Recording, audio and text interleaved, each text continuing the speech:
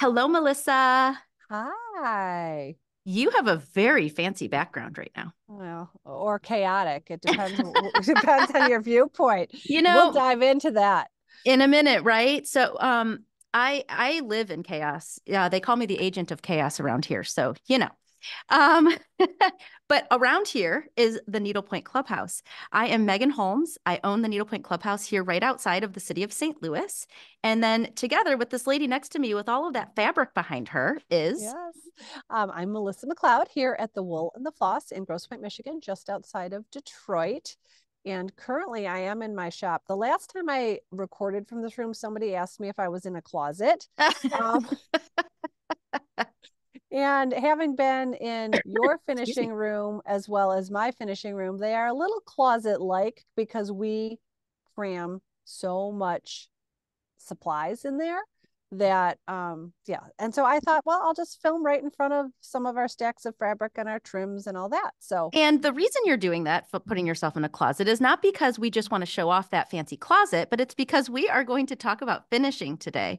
Uh, first of mm-hmm. all i think it's exciting that we're back together again. We do this oh what maybe gosh, maybe once a month the two of us yeah. together ish um, but it's a lot of fun when we get back together. Typically we have a guest on the other side that we may or may not know uh, and we are meeting them but we definitely know each other and we've done this a lot and it's a lot of fun when we're back together so i'm so glad because i feel like i i miss you we um normally i mean this is a total aside but um normally our lives allow us to either see each other or at least talk fairly frequently and i feel like we haven't even had a chance to like take a breath and say hi to each other in the last month so um, I'm glad to see you. I know. I'm glad to see you too. So we are so lucky to have a marketing consultant helping us out. I ah. guess what's that's what we call her, right? A marketing consultant.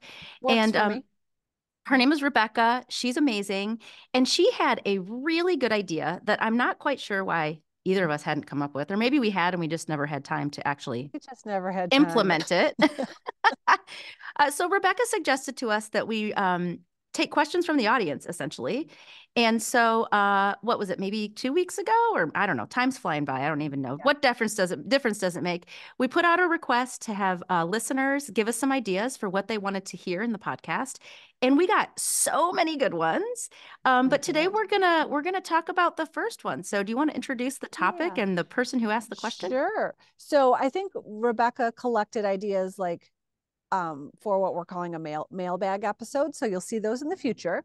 Um, but there were also like give us ideas for an entire podcast if you have one. So um, Kelly Watley, who is from Texas, mm. asked us. I I was like, I think she's one of your customers as well. Mar- Megan and Kelly. I are very fortunate to share many, many, many customers.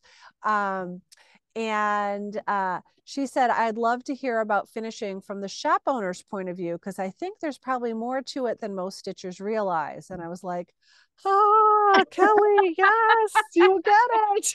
You're asking both the million dollar question and um, really the topic that I prefer not to talk about. I know. So we um you know to to put it all out there Megan and I said our biggest challenge with this episode is try to just try to stay happy and upbeat because finishing is such an important part of the needlepoint process but it's so labor intensive for the shop owner. And um we uh just have a lot of um sorry someone just walked in and distracted me a little Distra- bit yeah um, that's all right uh so there's just there's just a lot that goes along with it and it's such um I mean, we're taking in people's babies practically. You know, I hate I hate to compare it to a human, but I think people when they drop off their finishing sometimes feel like they're giving away their child, especially if it's a large project and they're nervous to have somebody else be caring for that. I mean, it, there's some similarities let's and it's say. and it's okay you know i call it you you i forget what you just said just now but i call it the life cycle of a needlepoint yes. piece i feel like yes. we have to we have to finalize the life cycle of the needlepoint piece in order for people to be able to dive into a new project and i think i've said this before maybe on this podcast definitely here in this store when i first opened my shop i said i'm not doing finishing and the owners, the people, the women who I was buying the shop from said, I don't really think you can do that. And I said, Oh, no. Yeah, this is far too terrifying to me. It's a lot of um, liability. It's a lot of money. It's a lot of labor, and I'm just not doing it. And I very, very quickly realized that that is kind of not really an option. Um, no. and that you have to help stitchers sort of make a full circle effort with their projects and um, and it is joyful. There is a lot a lot of joy in delivering a finished product to a stitcher. Maybe it's their first project maybe it was their you know grandmother's first project that they're refixed they're you know refinishing. Um, there's a lot a lot of joy in it but there's also just a lot of strain because i mean well we're going to get into the details but yes. So we, we will talk about the life cycle but i will bring up one other thing that our rebecca shared with us the other day and i i am remiss in not remembering who made this comment but a, a watcher a podcast watcher from the west side of the state of michigan commented she's like i'm so confused about this finishing thing. Um, she said when i was a young girl and i learned how to needlepoint you started by needlepointing and you finished it by finishing the item yourself. Like she said, I didn't even realize there were professional finishers out there. Mm-hmm. So um, I just want to throw that out there because there there are lots of things that have been created in this industry d- designed for self finishing, meaning mm-hmm. very easy to complete yourself. Um, but the original self finishing is, and I think we talked about this a little bit. Remember, uh, was it like a year and a half ago? We found that I found the bag of stuff at my mom's house. yes. And it had yes. the vintage directions on how to finish something. And we're like, oh, like it was really simple and easy then. But just like everything else in our world, I think improvements have been put on it and it's been elevated. And you can absolutely positively learn how to finish yourself. But there are professional finishers out there that that is all they do. And they have um, perfected the art of it. And it is definitely an art. Um, and so, you know, you have a choice. You can learn to finish yourself. Hallelujah. Megan and I commend you. Um, but we are, most shops are here to take in your finishing. There are also finishers that work independently of shops. Um, but we're here to talk about what happens in the shop. So that's right. Step one a customer finishes their needlepoint and they say, I don't want to finish this myself. What do I do? So we have finishing forms on our website. I'm assuming you do as well, right? We do. Mm-hmm. Yes. So, and ours, and again, I should also preface this all with the fact that Megan and I said earlier, why are we doing this? We should have our finishing managers doing this because we know enough to be dangerous. Yeah, you know, I but, think that just really quickly, um, it we determined that this was such an important piece of the business after I said I wasn't doing it anymore.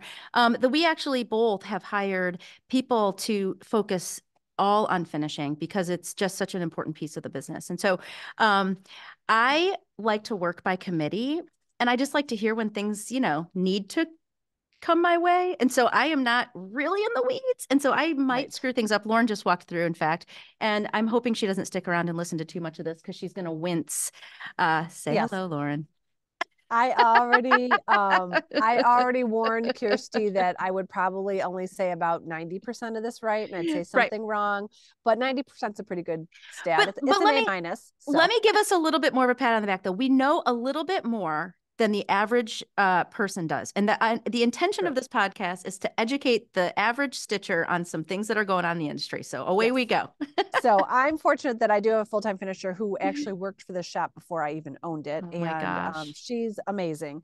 Um, we have a whole team of finishers. I know you do as well. I um, tried to count them up. I think I have 20 different individuals that I work with with finishing depending on what the type of finish is. And yeah, I and I I I'm about the same. In fact, um, because Melissa and I have been such uh, longtime industry friends, we actually do share a couple of finishers for sure. Um, and that's been a blessing to me because you had some that I didn't know about. I I don't know if I shared the wealth back to you, to be frank. I'm um, gonna keep track. I know you should, but um, but the other piece of that is is sometimes um shop owners don't intentionally do this, but they sort of keep their finishing people secret. And part well, of that it's, it's like when you were when you had little kids and you still do have little kids.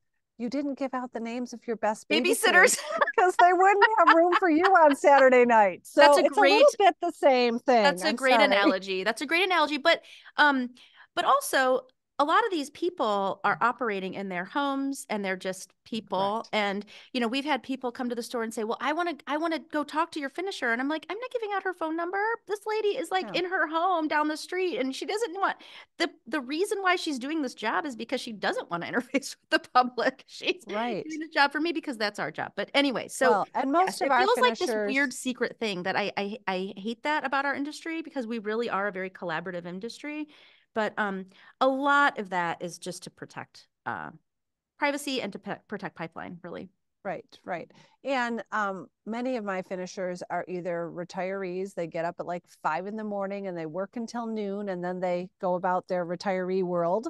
Yes. And um, another handful are moms with little tiny kids and they might not start working till 7.30 at night and work until midnight, you know, be, because it's it was kind of one of the first work at home industries, honestly. Like, you know, like before COVID, these finishers were working out of their houses and working remotely. Now yeah. that's super common, but it wasn't prior to 2020. So, yes. Um, yes. So, and most of them are 1099 employees. Sorry, financial girl coming out, not W 2 employees. So, contract so they, workers, essentially. They're independent yep. contractors. We don't control what they do. We, it's, it's piecework. We send along their projects they send them back when they're done. We're not controlling every step of the way, although we are helping to um, collaborate with them, help them through things that are get tricky.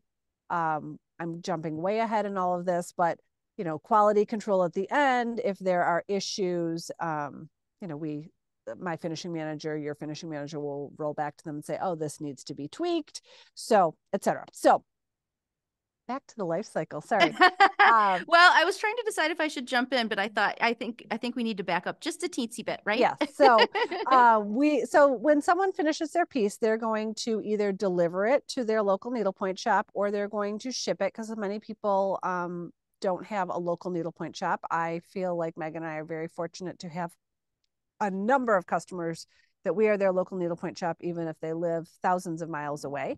Um, so when things come into our shop, um, and I'll just tell you what we do, and then you can say yes, no, how you do it differently. Um, our mail arrives every day. Um, UPS, FedEx, USPS, USPS, regular old boring mail. And some days we get two packages, some days we get 30 packages.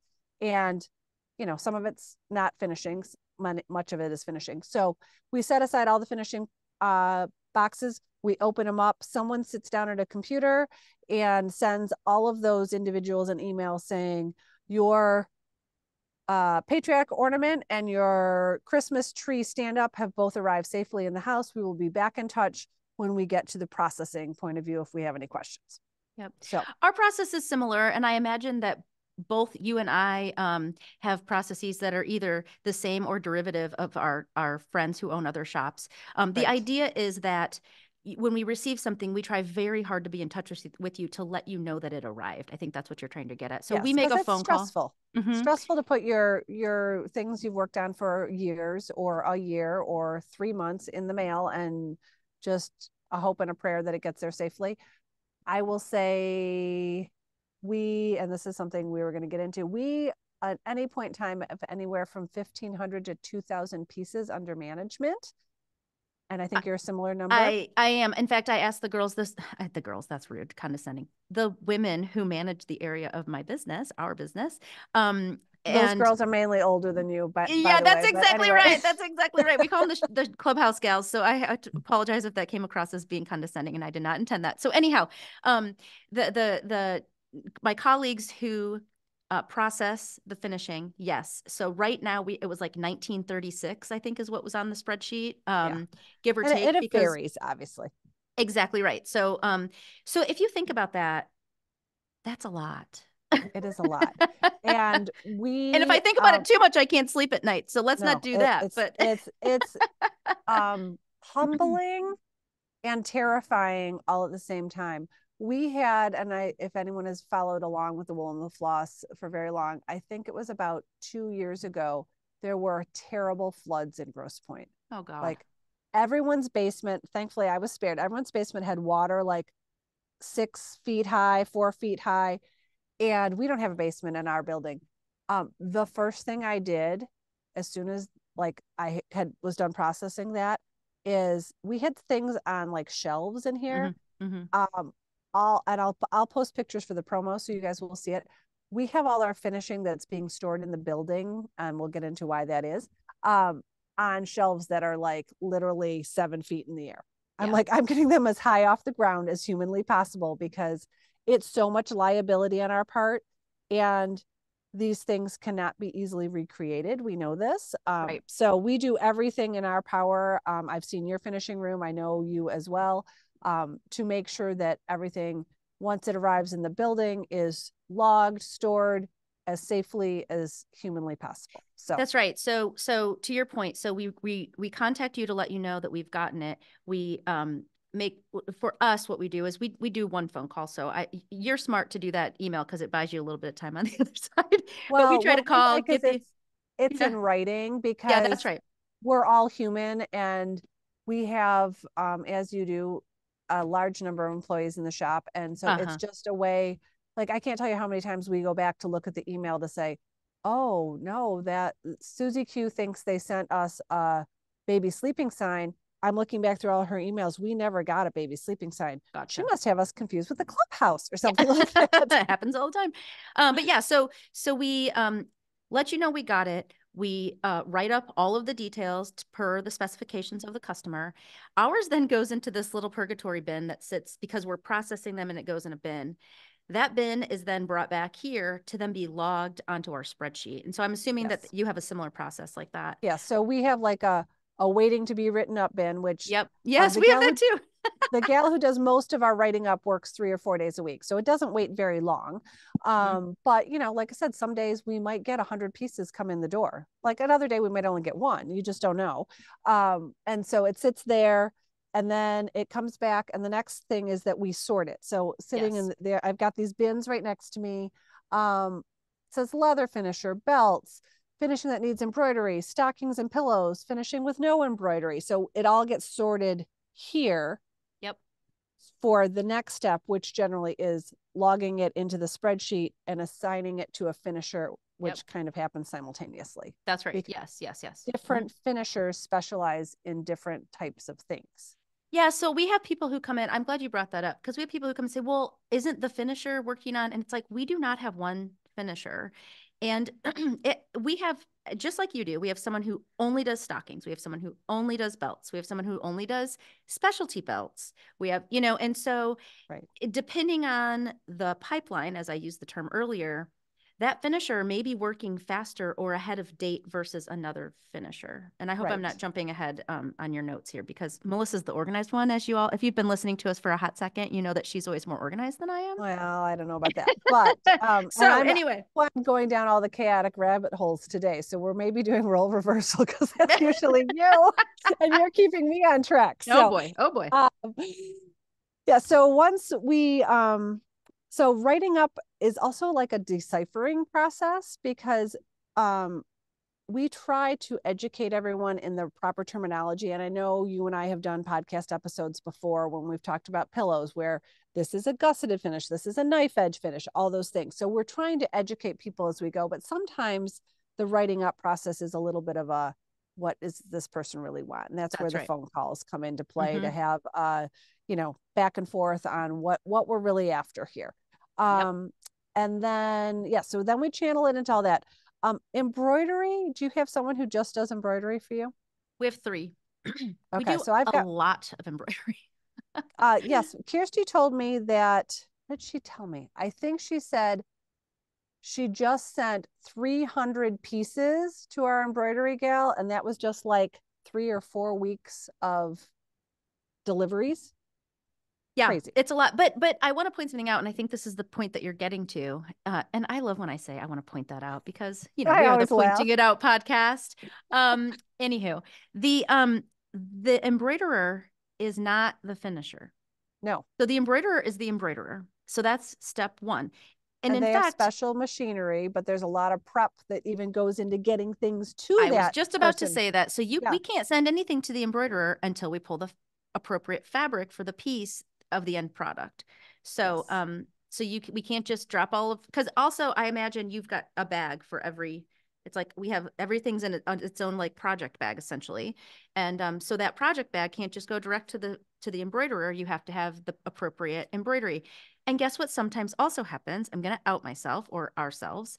Sometimes we don't send the right kind or enough because maybe mm-hmm. we didn't read and they say i want the embroidery on the toe of the stocking and it, we usually do it on the middle of the stocking so the piece we sent isn't the right or it's velvet and it's going the wrong way because we are not seamstresses around here and the the right. um what's that called not the grain the um the the uh, mm-hmm. has a name yes. I'll think of it. I know it'll come to one of us in a second. Not the weave, but anywho, it's going like say the wrong direction um, that's important too. And so, um, and also keep in mind that we're sort of turning and burning. We're like grabbing the color and the thing that we think looks the best, and we're doing a lot of those things, um, and we're just going too fast. Um, and so, anyway, yeah, so that's the, my piece about embroidery. the embroidery has, um, we're fortunate because we just have one person, so that that makes it a little bit simpler because then we're not dividing that up. But before it can go there, we are writing up the embroidery separately so that that piece of paper travels with the fabric that my finishing manager or one of my assistants to the finishing manager have selected. Then they're selecting the font and yep. they're selecting the color of thread. There's like a whole little book of different colors threads and it's crazy. So all of And if it's all capital letters or if it's not and has it been written the way that describes exactly what the customer wants that goes to the embroiderer. So I'm sorry, yes. we're going down a rabbit hole, but yeah. I think people so understand a, that there's a there's huge process just for embroidery. embroidery. Yeah. So yeah. so what travels to the embroidery person is just the the paperwork and a piece of fabric like you're in our world at least the needle point itself doesn't go to the embroiderer. That stays and is stored in the building. Again i'm, I'm more well sometimes.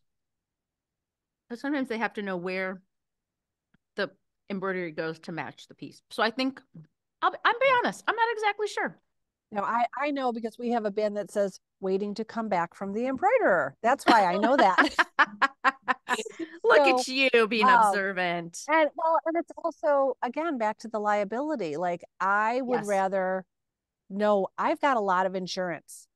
I don't know if all my finishers have like enough insurance if everything goes wrong. So everything is a is 1500 pieces or 2000 pieces, but most of my uh, finishers only have 20 to 40 things at any one moment in time. So That's they right. have enough mm-hmm. insurance for that. They probably don't have enough insurance for this. that makes sense. That's exactly right. Yes, I completely so, agree. Um, so then that comes back from the embroiderer. We rematch up the fabric, the now embroidered fabric with the finishing piece. Mm-hmm. And now we're in a position to um, send things out to our different finishers. And when we send them out depends on their timing, right? How many things they have. Because again, I don't want them having more than 20 to 40 items in their possession. It's overwhelming to them. Um, again, liability. Sorry, I keep bringing that up, but that's well, how much we true. care about it. That's right. You know, the other thing so, I want to mention, and maybe you're getting to this too, is that sometimes people will send us fabric and sometimes uh, um and so I both love and despise when people send us fabric because sometimes it's the wrong weight, sometimes it's the wrong amount, sometimes um, there's did I say no amount? Um, and here's the problem. We we uh, we're making this like the life cycle as if it's all happening in one day. Like it goes to this bin and then that bin and this bin. We may or may not even get a piece to the embroiderer or to the finisher until six months, maybe sometimes just depending on the piece. And I, am just I just threw that out there. It could be eight weeks. Um, but we're not even going to pick that bag back up and double check that is the right amount of fabric until much later. At which point, maybe you can get more of that fabric. Maybe you can't. Maybe the dye lot has changed. Um, and so I think sometimes customers do get frustrated when we've you know there's a, a period of time between when we receive when we choose the fabric and then when we get it but we try our best to actually choose the fabric when it's going to the finisher so that we know right. we we have enough that we have you know the again the right dye lot the right direction of the plaid the plaids can match you know sometimes you need like the plaids and the stripes have to have even right. more uh, right. when you're doing a ruffle you need like three times as much as you need and so um self welting has to go on the bias so that takes that's right. up gobs of fabric That's right. And so it's not that we're um, being errant or um, forgetful or any of those things. It's just that there's a reason why we wait until not the 11th hour, but until the item is really ready to be actively um, worked on. Um, so well, I, I wanted to get that. let's talk about that fabric thing. So I'm sitting in this corner with all this fabric. My fabric okay. is behind me uh, in bins. Poor Mary probably wants some privacy back there, but we should share some pictures well, because it is it is organized chaos. well, let's talk about this. This is not enough fabric to do all our finishing. That's exactly right. Thanks At for all. bringing that up. So my finishing manager um, is also one of my finishers. Um, but she's also my finishing manager, which is, makes her a little different from how you function, just because I got lucky and that's how it is. Um, and she's phenomenal. I have to mention, even though she says she doesn't listen to the podcast, so, I'm not even going to get get kudos for saying she's phenomenal. she is phenomenal. Um, but she individually shops for the fabric, the trim, the um, cording, uh, the twisted cord, the pearl cottons that we use, um, the pillow inserts. I don't know. There was a big box of pillow inserts behind me. I think I moved those. Um, all of those things. And when I say she shops for them, sometimes we get lucky and it's in the building because she knows fabrics like some good basic like Dupioni silks and velvets that we use over and over and over again. Mm-hmm. But I'm shaking um, my head. For those of you listening, I'm ardently yes. shaking my head, agreeing with everything that Melissa is saying. but then we have wholesale accounts set up with different fabric mills and different trims. And so these trims behind me are not because I stock them because I think they're cute, even though I do. Um, it is because when you order fabric or trims, you're required to order a minimum amount of yardage. So right. you might only need a yard for Sue's pillow, but Sue's pillow really is screaming to have this very particular trim on it. So we have to order five yards. So mm-hmm. then it sits here, and mm-hmm. we hope we can use it again. Mm-hmm. mm-hmm. But it's it's um it, it's a lot of labor. It's a lot of um, educated work. I mean, I couldn't do what Kirsty does to save my life. No way. Um, she knows exactly when she's someone says, "Oh, I'd like a mixed color brush trim." She's like, "Oh." I know the company that carries that. I've got it. And she pulls out some magic little trim book, then picks something. And, right, right. yeah, it, she's amazing. So uh, that whole, I think there's a an an image of most finishing uh, rooms having just like endless amounts of fabric. Um and no we're not we're not santa claus's um north pole house.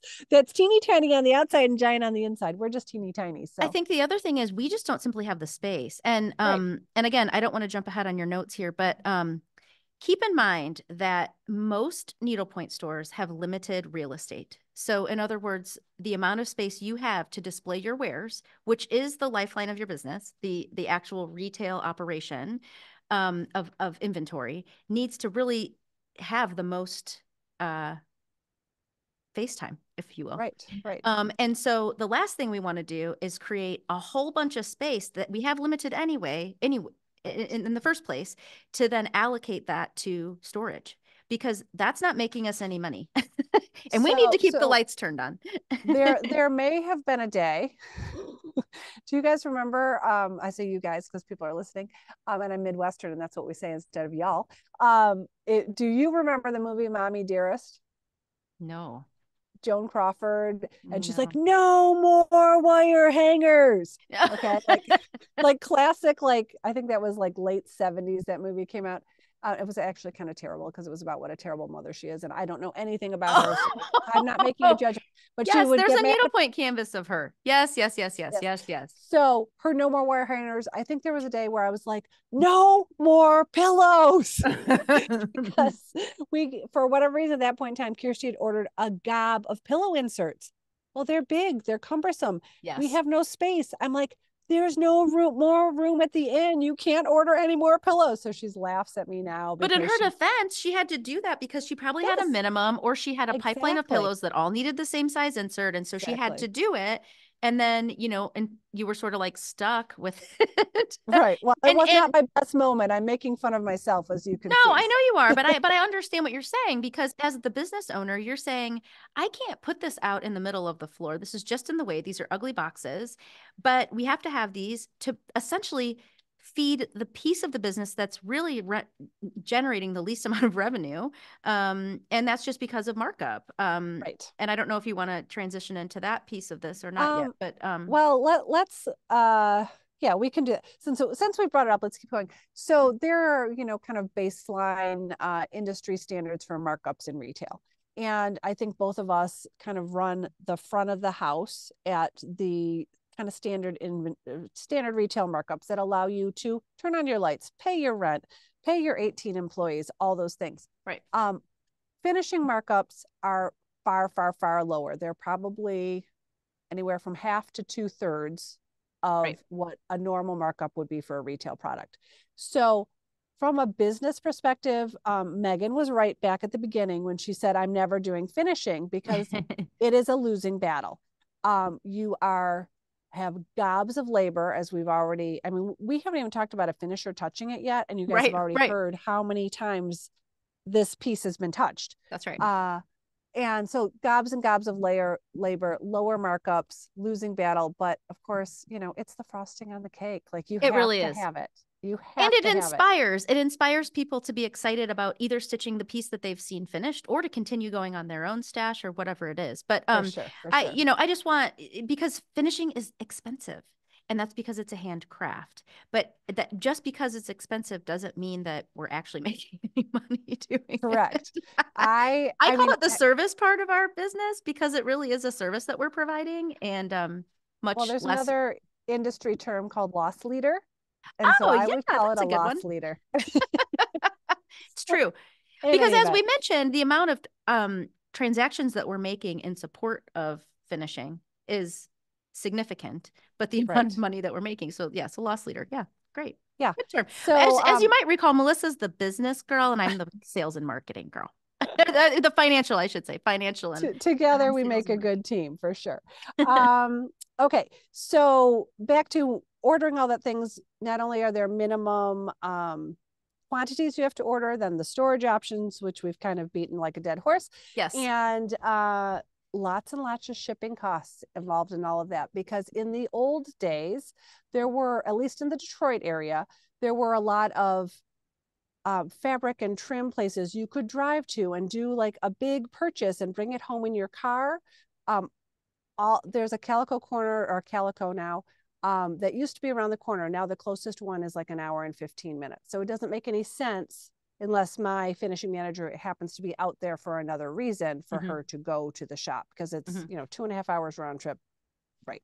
So um, we've got one place that we can go to for some things, but you know, it, it's a little bit like um, going to TJ Maxx and finding the good stuff amongst all the not good Right. stuff kind of right thing. right right so, right right Mhm. in any event, um, so lots of that involved there. Um, let me. but see. you were saying shipping and are you are you getting to the point that so not all of our finishers are local to us many so of yeah, them so are then once Mhm. everything's logged, so we have the finishing costs of materials coming in. Mhm. Then um, we are fortunate enough to have like I'm looking five of our finishers that are local to us that either travel to us or we drop off and pick up from them.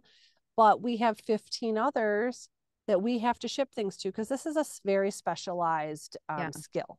So and I would say we're probably closer to 15 local. Uh, Oh, luckily. Oh, because you said you had. So talk about that. You said that there's a old uh organization in St. Louis. yeah, yeah, yeah. So one thing that we've done, so um, I don't know that we're really going to really get into the weeds on this, but as all of you know, needlepoint blew up during COVID. Everybody was stitching, a lot of stitching, and so everyone was drinking from a fire hose at the end, like when the world opened back up. And so, so these 1,900 pieces didn't happen overnight, but they started to build up. Um, the I'll be honest. I mean, I think when I first bought the shop, we maybe had like a hundred pieces under management at any one time. I had We three three finishers when I bought the shop. Now I have That's right. 20. And, And, that's out of so necessity.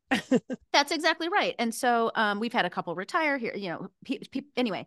Um, and so I kept saying to myself, we have got to be able to solve this problem. Like there's got to be a way to solve this problem. And I know Melissa did too, and other others of our colleagues. And I'm not we're we can only just speak from our own perspective, Right, which is why right. I'm not um uh talking about anybody else. But so I kept saying there's got to be a way. There's got to be a way. And so we've kind of gotten creative. Um, we have a couple. We have gone to a couple of interior design firms who have um, workrooms, and so we found some people that way.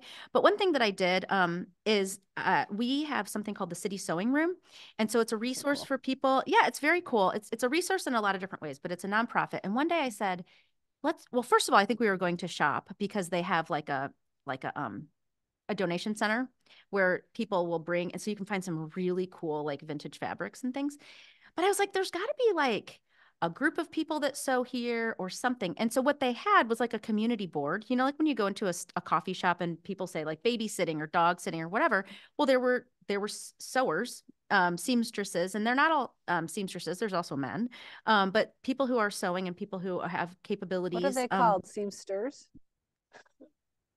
Tailor, maybe. I don't know. I don't know uh, either. Uh, Anyways, you know, I was almost a linguistics major, so I should know this. But well, that's go cool. ahead. uh, anyhow, and so I, am I'm, I'm just trying to illustrate that we're doing the best we can to to use our resources. And so I we found a couple of business cards. We grabbed a couple of business cards, and we have since been able to teach those people to take their Develop craft. Them. Well, develop them, but to use the craft that they already had, but to um, apply it to needlepoint. And um, you know, but again, that's not easy because I've been buying pieces off of eBay or using my own personal things because we're not just going to throw, you know, Correct. customer Sue's piece to this new person that we're trying to develop. So that has to happen right. over time. Um, we also have had some of our finishers work together to try to teach each other or to talk about right. techniques.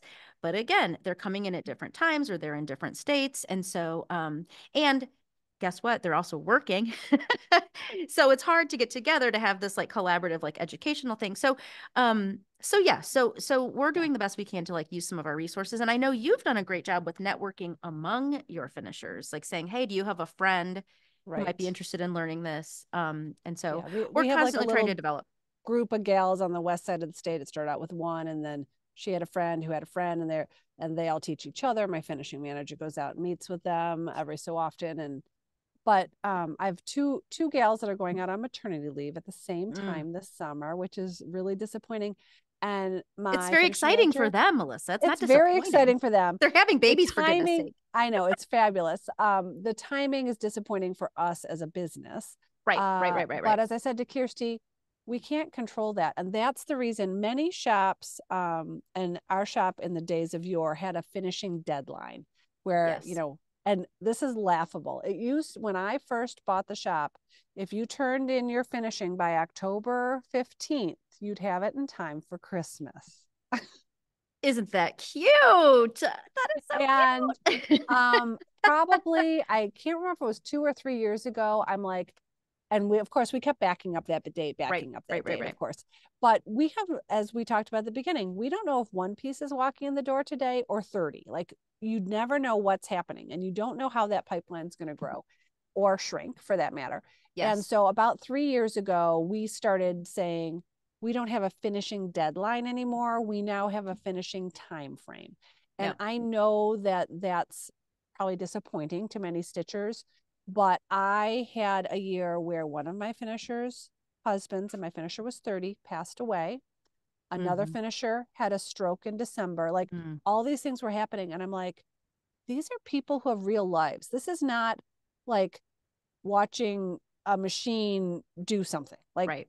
Right. So life happens to my finishers and i as much as i need to take care of my customers i need to take care of my finishers and, and i'm like i can't put the stress on them anymore like mm-hmm. they're working really hard. It's not like because now we went we've gone to time frames versus a deadline.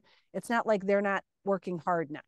Right right. they're still working just we kind of have like internal like we'd love this set of things back by this date like we don't need to go down that rabbit hole.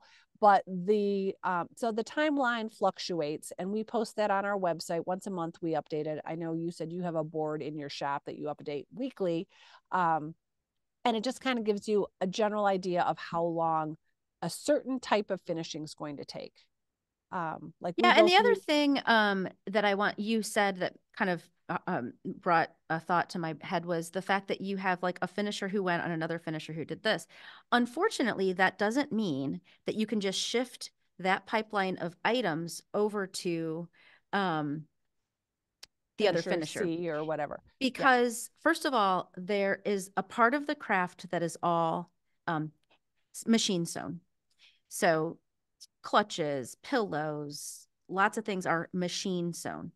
But there's another um, huge, huge part Most of it of our finishing craft that is hand sewn. And if you tell a machine sewer to do some hand sewing, they're going to look at you like you have four heads. Like that is no, those two things just don't always compute. Now, sometimes it does. We have people who are very, very crafty. Kiersey, I'm sure, is one of them. She can do just about anything. There's a few different Correct. finishers who can do all those things, but we have honed some skills with particular finishers, or we have determined have that a finisher has a specialty, and that's what they're good at. They may even have patterns for them. So, for example, our stocking finisher, she knows when she gets a Susan Roberts stocking or a Liz, or I mean, a, um, a Least, or I mean, a um, what am I trying to say? A, a Strictly Christmas. They all have different shapes. She's got patterns for all of those. So she can whip through stockings really quickly. Well, yes, my pillow finisher, uh, who who primarily focuses on pillows, could stitch a stocking, but it's going to take her three times as much um, time because right. you know she ha- doesn't have the patterns and the like the efficiency that the other person does so just like I, am feeling for you on these two women who are going to be out because something tells me that you know one of those women is are really good at um yeah. gusseted ornaments and the other one is like oh i got to do a gusseted ornament today and maybe somebody knows how to do the 3d shape and um yeah. and we're trying to get some of the gals up to speed on our stand-ups because the we have probably four people who do stand-ups but the two that are going on maternity leave are two of the four that do the stand-ups so we're trying right. to get others up to speed but to your point that doesn't happen overnight like that's, that's right that's mm-hmm. something we started working on as soon as we heard that they were both going to be on maternity leave but mm-hmm. 7 mm-hmm. months does not a finisher make right right and uh, um, i want to say something else and again i'm not sure if i'm jumping the gun because here i am not looking at the thing I, but i don't know so we are anymore. what we what we're talking what you and i are talking a lot about is these um sort of as you, you called it i think cottage industry or individuals who are working from their homes so yes. i would tell you that probably 17 out of our 20 if we're if i'm just doing round numbers are those type of people um, we also access skill and um, labor from these larger um, finishing operations. So um, there, there's one in Texas, there's a couple in Oregon, there's uh, a couple in California. These larger operations that take in all the kinds of finishing, and you're working with one intake person. So uh, you know, the leader of the of the group, just call it, and then he or she is then distributing the work out to their worker bees, um, opposed to you know, like having those people in their individual homes. And some of those places um, I've talked to, and because, you know, I ask a million questions all the time because I'm always very fascinated by processes. Um, but some of those people have uh, some of those those those businesses have acquired machinery that allows them to do some of these processes faster but that right. also means that they've had a big um, um, investment of machines and they're also managing a crew of people which means that they have uh, payroll and they've got insurance and all these right. things. And so sometimes those operations are a little more expensive. They might be faster, but they're a little more expensive because of the amount they have to charge in order to um, essentially wholesale it to us. Right. And so that's also one of the reasons why you're going to see not only um, changes in um, pricing of things across the country. I mean, we we know that something in New York City is going to cost more than it's going to cost in, um, you know, DeKalb, Illinois, or, or St. Louis or Detroit, or um, but you also have to um, think about the fact that there are some businesses that are operating to mass produce that are Right. And, and, like I said, we use a couple of them. I know some stores across the country only use the larger Correct. finishing houses, if you will. I don't know what else to call them. Um, but it's just it's it's it's diverse. There's a lot of right. different pieces to this finishing. Well, we're all just kind of getting it done the best way each of us has found to get it done. Yeah, that's right. Isn't all the same. Um, okay, so we'll just finish the life cycle because I think we've we've covered a lot of territory. But um, once everything goes out to our finishers, it comes back. Mm-hmm. Uh, we, God, what has been watching out for us. Um, we've never had a box of finishing lost. I'm so happy to report. Um, so, but every time, you know, it's traveling around, it a lot of insurance gets thrown on those boxes. uh, and it comes back. It has to get logged back in. It gets logged in through the through the spreadsheet. It gets priced. Um, in Megan's and my situation, we show it off because we have found over COVID that people loved the experience of feeling like they're in a local needlepoint shop. So they get their moment of fame. Um, but I will add don't. something. We sometimes we just can't show all of it. Well, that's what I say. Sometimes they don't because there's either too much or it's something that was time sensitive, and we would never hold something up to show it off um, you know, if it's the week before Fourth of July, the second a patriotic piece comes in, it's out the door. Right. Uh, right. So it doesn't get held up for that. It also, um, if we get 5,000 Stitch It Angels back the same day, that all the Stitch It Angels aren't going to get shown off, like all those things. So it gets shown off. Then we have to invoice it. So we utilize um, our Shopify platform to to um, send people invoices just because that lays it all out for them what they're paying they can see it um, rather than getting a phone call which it's harder to pass along all that information mm-hmm. um, and then we give them the opportunity to decide how much insurance they want on it mm-hmm. because mm-hmm. now that's up to them um, i will point out there i go i said it um, that well done. uh, the insurance on the back end when something if if megan sent something to me for finishing when i sent it to her all she can get back is the cost she can prove that she put into it. So right. the cost of the canvas, the cost of the threads, the cost of the finishing. If it took you two years to stitch that gigantic pillow, they, they're not going to pay you for your time. So right. think about that insurance amount because you can insure it for $1,200, but if you can only prove $600 mm-hmm. of expenses, that's all you're going to get back. Mm-hmm. So, mm-hmm. um, and honestly, I probably I think we ship 50 plus packages every day. Not mm-hmm. all of it's finishing, of course. Mm-hmm. Um, and anytime I get a notice that something's been lost, I, I kind of go like I think I, you know, have to keep yeah. my hand over my mouth in case I'm going to throw up. Um, and I'm always so relieved when I see it's just product. And um, we have probably had in the course of eight years, two pieces of finishing that has been lost and never shown up. Sometimes it's lost and shows up 4 weeks later and that's right. still not even very right. often. Right. So. And and and you know, that's a pretty good track record especially um, considering that over the course of time you've the pack the amount of packages you're shipping grows and so therefore the right. percentage of things that get lost grows. Um, the other thing I want to say, just to mention, and I know people know this, but I've had to say it a couple times to people. There are mm-hmm. situations where and this has happened to me a couple times with shipping too and i'm just pointing this out because um, it's sad but it's true.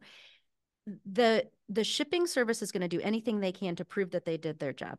So if for some reason it says delivered but the person never received it it either got stolen off their porch or it was delivered to the wrong address or whatever it is um, we're, we're still liable because we cannot get our insurance back because they're saying we did our job. It, we have proof that we did our job. Um, so there have been a couple times when we as small business owners, we just have to eat that. I mean, as a good customer service, uh, you know, um, operation, we just say, you know what, we're never going to get any money back from the shipping uh, service, and frankly, you'll never get as much as you really, especially if it's a, it's a finishing piece. You're never going to get to your point what you deserve back anyway. Um, so we do anything we can to help with restitching or you know whatever we need to do.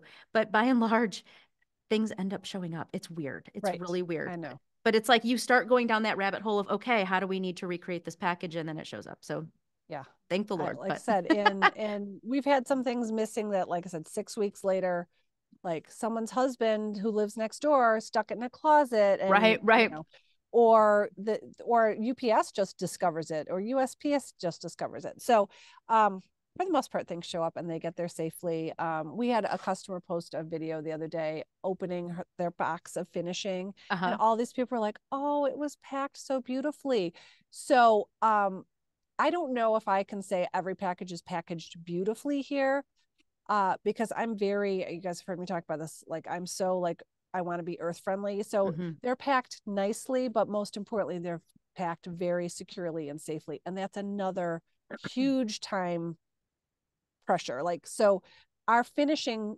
shipping might not go out as quickly as our product shipping because a canvas I can slide into a stay flat, out the door it goes.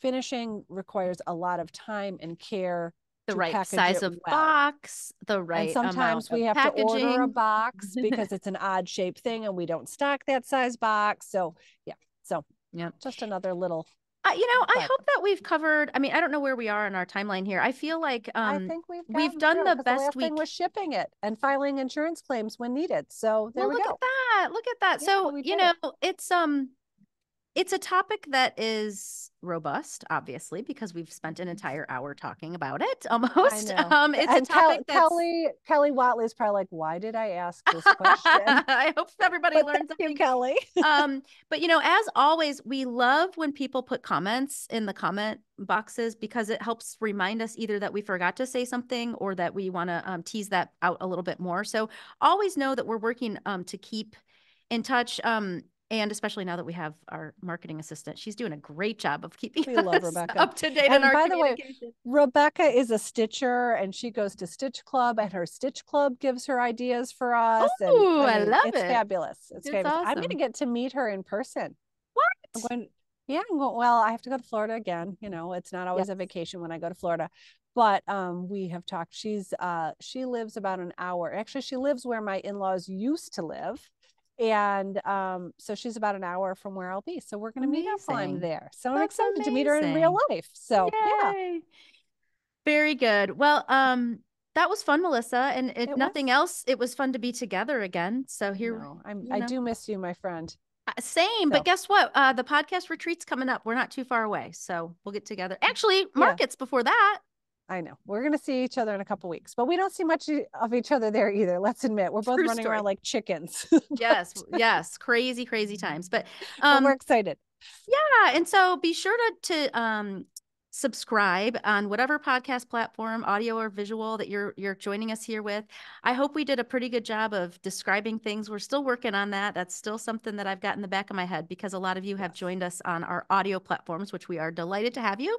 Um, but yeah, I think that that wraps us up for today. I think we did it. We All will right. chat soon, my dear. Take care. Sounds great. Thank you. Bye-bye. Bye.